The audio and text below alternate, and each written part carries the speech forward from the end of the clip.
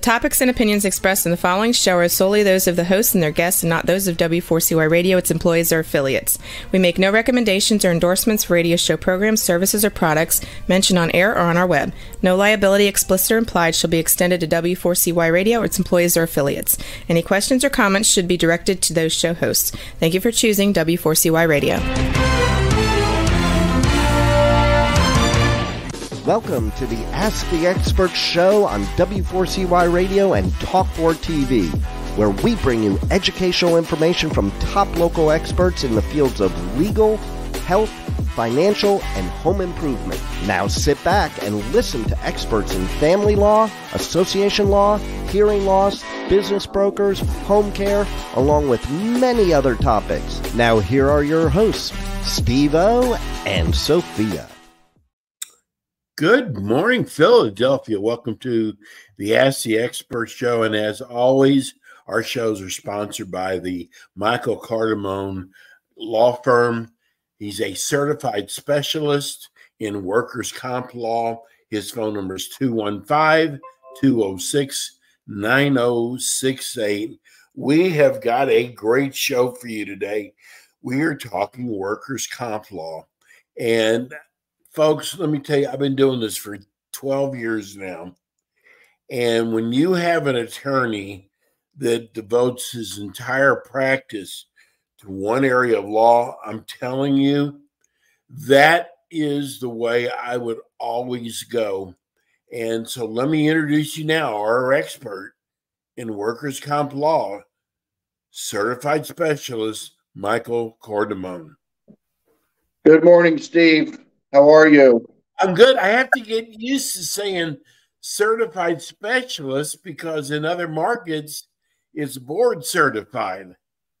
Yeah, and there's also board certification for doctors, so it can be confusing. But for workers' comp in Pennsylvania, if you pass the exam and, and uh, meet all the other criteria, then you know you're a certified specialist in workers' comp. So the phrase is actually longer than that. We're supposed to use uh, it's a certified specialist uh, through the Pennsylvania Bar Association as approved by the Pennsylvania Supreme Court.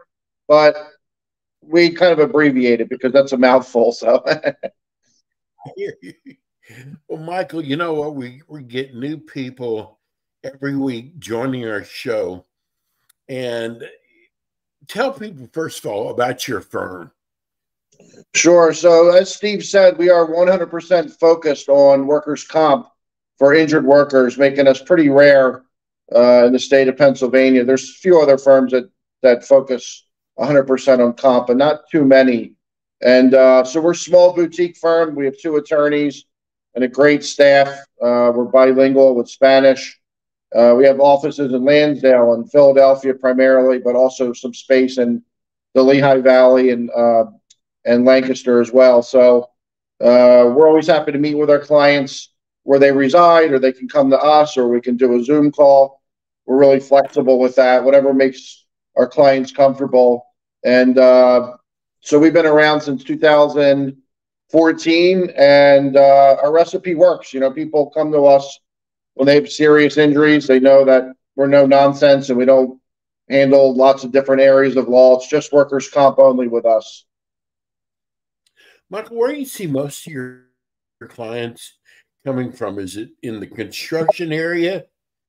It's really diversified, uh, but that is definitely one really ripe area um, of the economy where we get clients, construction cases, truck drivers, um, still some assembly line workers, Amazon workers, for example, a lot of healthcare workers, nurses, CNAs, uh, people like that. But it could be, you know, I've, I've represented a pharmacist before, tripped on a computer wire, then had a bad concussion and had a really serious brain injury. Uh, so it really can can really run the whole gamut. But yeah, 80, 90% of the time it's in a in a field where it's really hands-on, warehouse workers, the construction workers, etc. I started off today's show with Good Morning Philadelphia because we've done that the last 12 years, but it's no longer Good Morning Philadelphia. It's Good Morning Pennsylvania. We now cover all of Pennsylvania, not just Philadelphia. So we didn't mean to leave anybody out. It's just after 12 years of doing this, I am so used to saying good morning, Philadelphia. So, hey, let's just jump in right in. And I've got so many questions for you, Michael. And but I'm going to start off first because one of the biggest questions is people who are injured don't understand how you get paid. Yeah, it's a contingent fee system, and what that means is you you don't pay us anything out of your pocket. No check, no cash, no Venmo, nothing. And uh, if we win and there's a court order approving our victory or settlement, then there'll be a 20% award. My firm only takes an award on the indemnity or wage loss benefits. There are some firms now that are uh, taking a fee on medical uh, I'm not comfortable with that, so we don't we don't do that. But uh, so yeah, it's you don't need any cash. It levels the playing field and allows you to get representation uh, without having to send us any checks. And people who do that tend to double or triple their money. And so uh, sometimes they fear this 20%. Well, I can't live on my check as is, and I'm going check to check, and it's really hurt hurting us. But when the insurance company challenge your benefits, and they say you're recovered, for example, and you lose, you get nothing.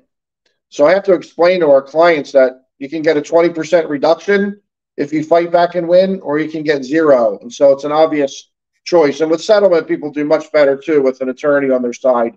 So it is the number one question. It's how do I pay you? I can't afford it. And we say, well, you're in good luck. You know, you don't have to pay us anything. It's a contingent. And that's across the board. That's across the state. Um, so it's a really nice way for people to to level the playing field because the insurance companies they know what they're doing. They have a team of attorneys, and you want to have the same thing on your side. Exactly, and these attorneys on the other side, these mm-hmm. aren't slouches. These are boy, these are big hitters, and they gobble up people who don't have an attorney. Now here you've got like just like Michael said, you can make the playing field level. The other question, Michael, people worry about can I get fired for filing a claim? You can, but it's going to be unlawful, and they're going to have a, probably a secondary case for what's called employment discrimination. So you're not allowed to be fired because of your race, your religion, your ethnicity, your sexual orientation, uh, your age. Uh, you know, if you're if you're uh, if you're pregnant and you need a combination, these kind of things. And you're not allowed to be fired for retaliation for filing a workers' comp case or getting an attorney. And that's really uh, puts a chilling effect on people that false belief that they're going to get hammered by their employer because they got uh, legal advice. And it prevents them from calling us or other law firms.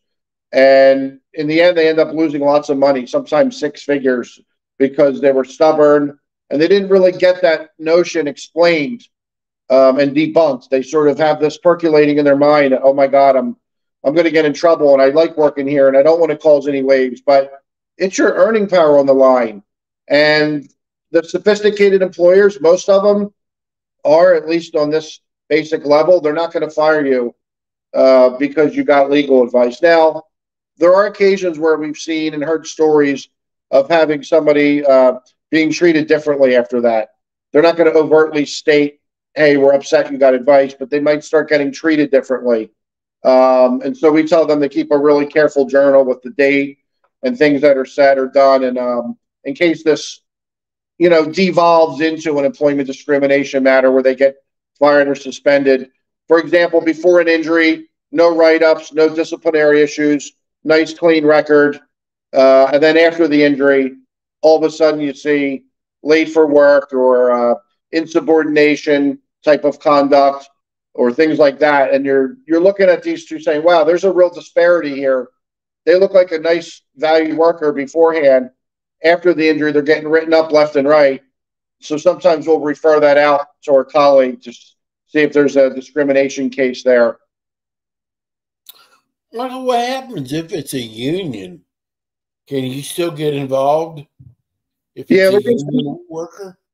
Yeah, we can. Some some people just don't trust the uh, the union attorneys that they're kind of assigned, and um, for whatever reason, good or bad, true or untrue, they they want to get outside counsel. That that happens a lot.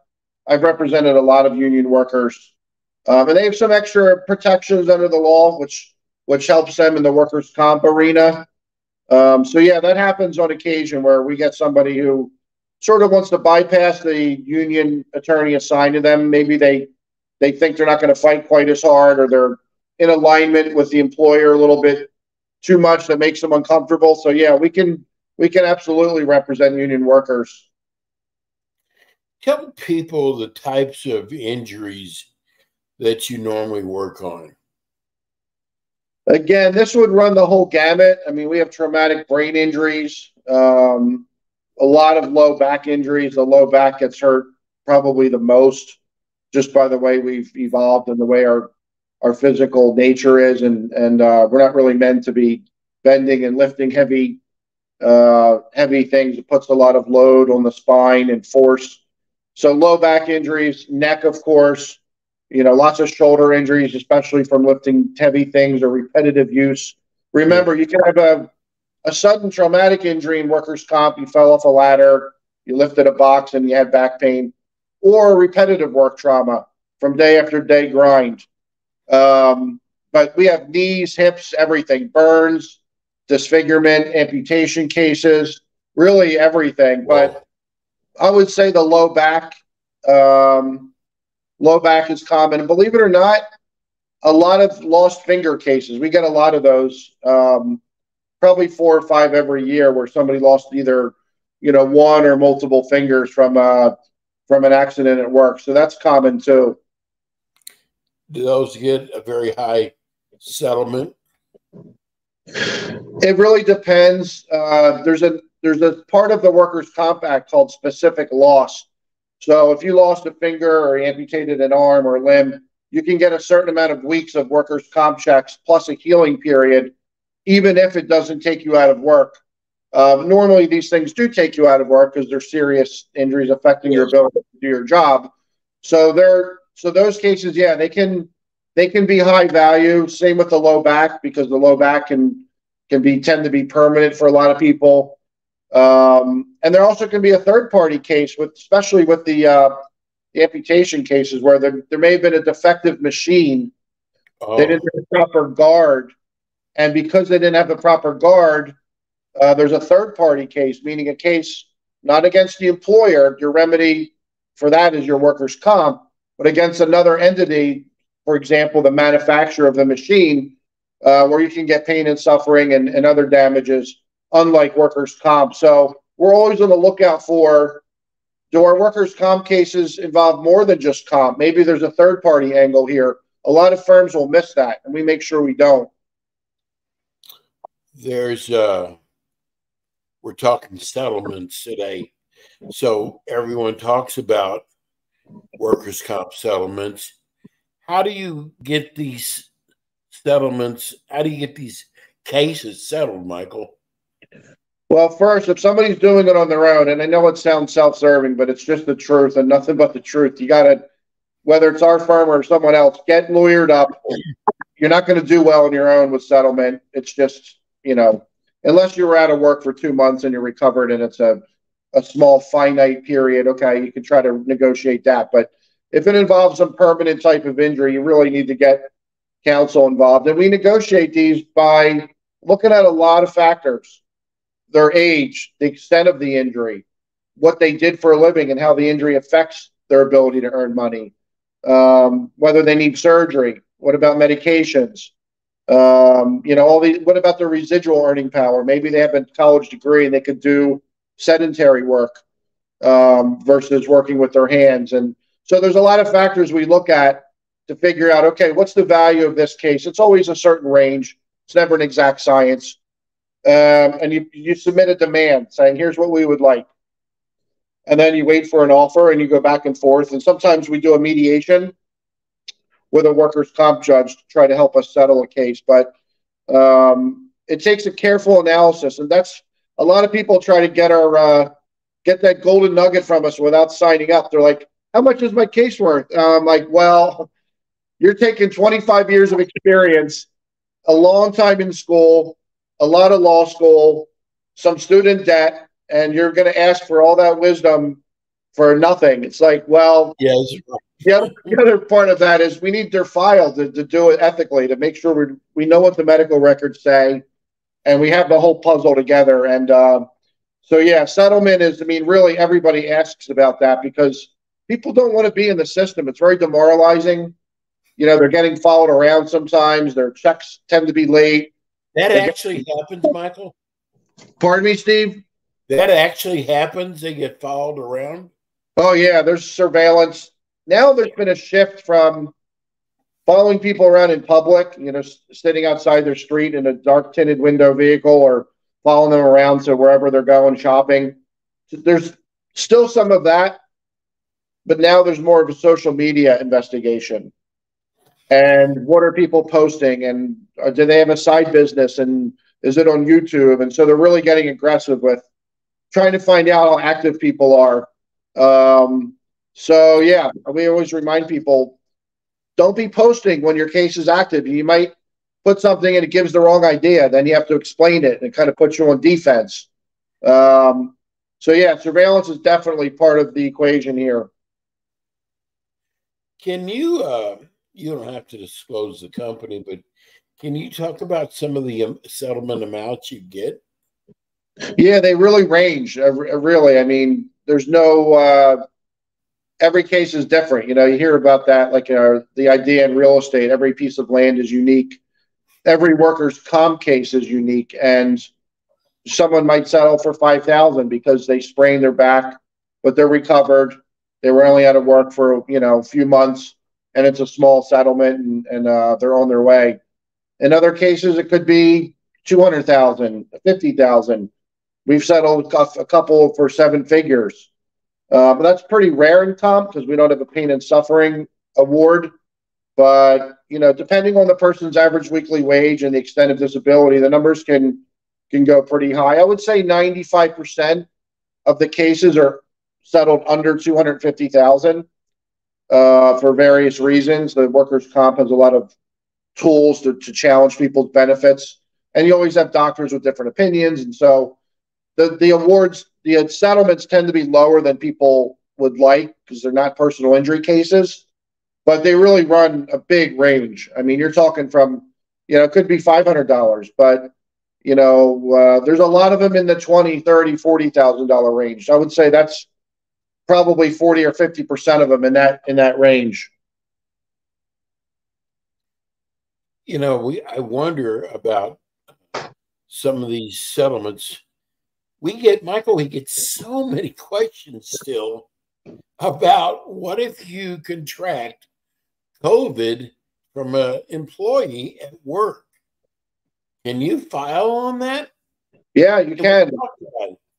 Absolutely. That's a work related illness. Um, you can file for benefits. You file what's called a claim petition, and it's going to get assigned to a workers' comp judge like every other case. And you're going to have to litigate it and prove your case. Uh, normally, you would do that by putting your client's testimony on, uh, and also uh, taking the deposition of a doctor, maybe an internal medicine doctor, or uh, could be a family doctor, could be a specialist with. Um, trying to think of the the uh, specialty off the top of my head, but you would need medical evidence to show within reasonable medical certainty that the doctor believes that so and so contracted COVID at work and and so uh, it's absolutely a viable case. The strength of the case, uh, case by case, of course, but and they're very difficult because, as we know, COVID is not something you can you can touch or feel. And so, a good defense lawyer is really going to vigorously cross-examine the injured worker about where they were in those days leading up to it, and who they were exposed to, and what stores they were at, and did they have a mask on, and what type of mask, and I mean, you could just go on and on and on if if you wanted to be a pain defense lawyer and really, you know, drill down on that. So uh, we actually didn't see as many as we thought during COVID. We had two or three cases, um, but a lot of them were short term illness where somebody was sick for a few months and maybe they got short term disability or unemployment comp, something like that in the interim, which didn't really make the workers' comp case very valuable to pursue. So a lot of them were, were smaller cases. Michael, if somebody dies from an injury, does that go into a different area of law?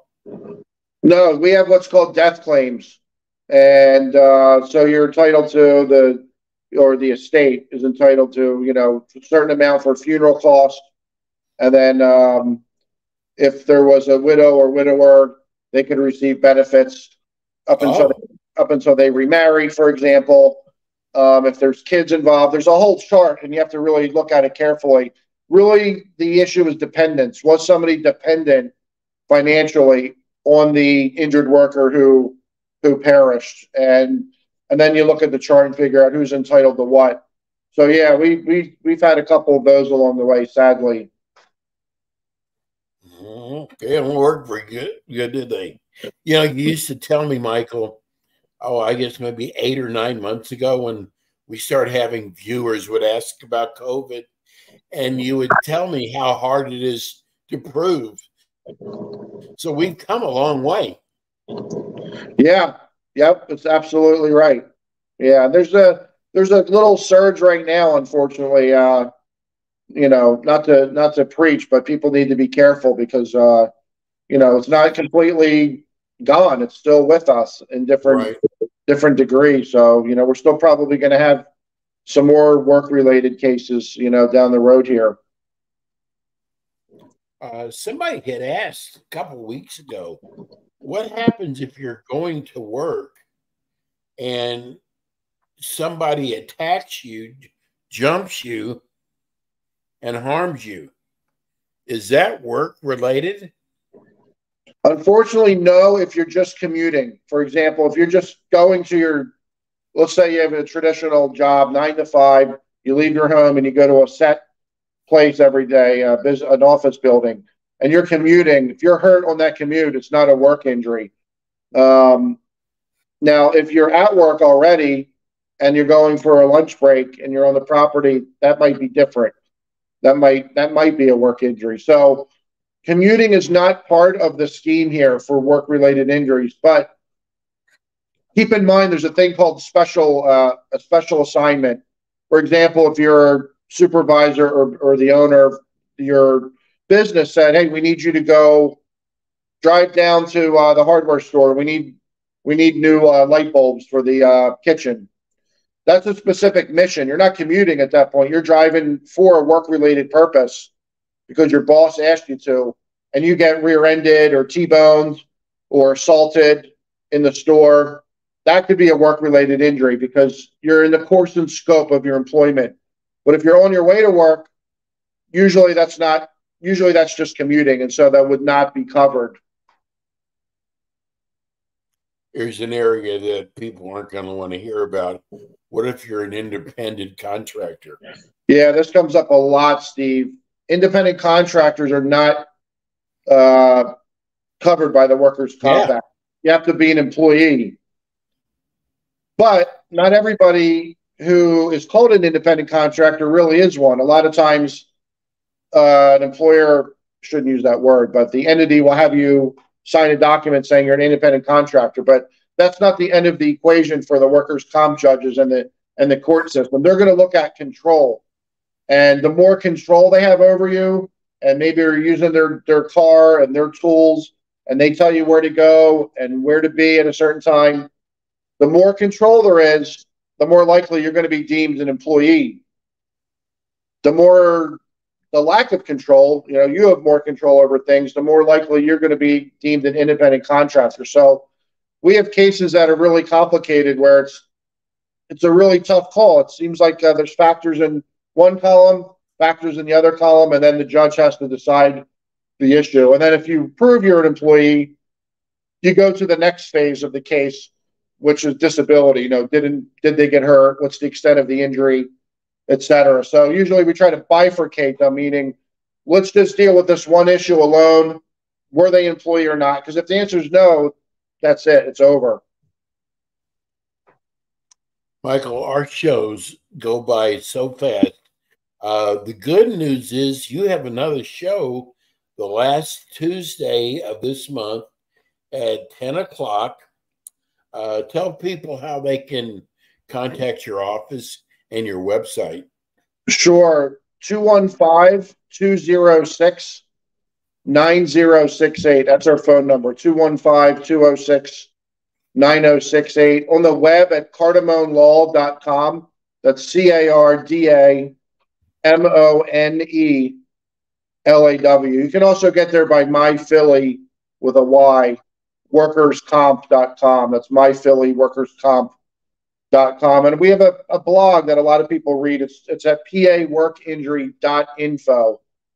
And uh, so, yeah, you can reach us seven days a week. We get back to people quickly, and we're, we're happy to help if anybody needs it. One of the finest workers' comp law firm in the state of Pennsylvania. Michael, we'll see you in about three weeks. Sounds great. so much. And uh, as always, all of our shows are sponsored by the Michael Cardamone Law Firm. We'll be back with you next week with more Ask the Experts. Thanks, Michael. Thank you. Bye bye.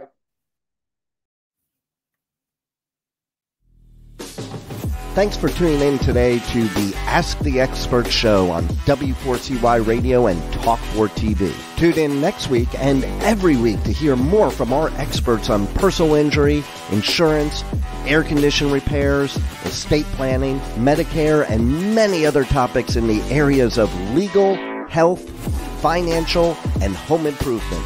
See you next week.